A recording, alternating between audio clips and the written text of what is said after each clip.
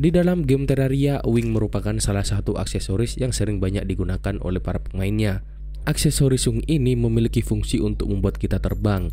Nah, sebagian besar wing ini hanya bisa kalian dapatkan jika kalian sudah memasuki hard mode.